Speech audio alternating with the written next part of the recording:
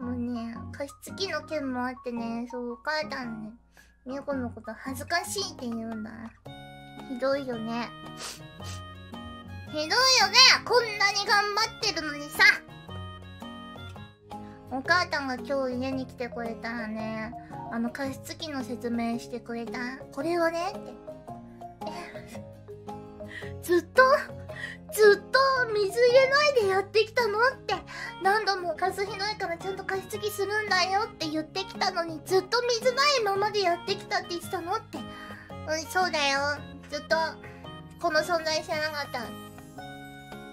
ずっと入れてないよ。はあ恥ずかしいよ。恥ずかしいよって。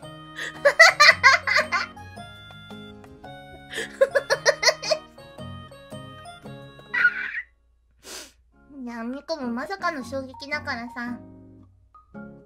そうだねって、びっくりだよねって言った。いつかシャンプさんもさ、ねえ、水を入れなくても加湿ができるその魔法の加湿器をきっといつか作ってくれる。そんなきっかけになったのかなって思ったよね。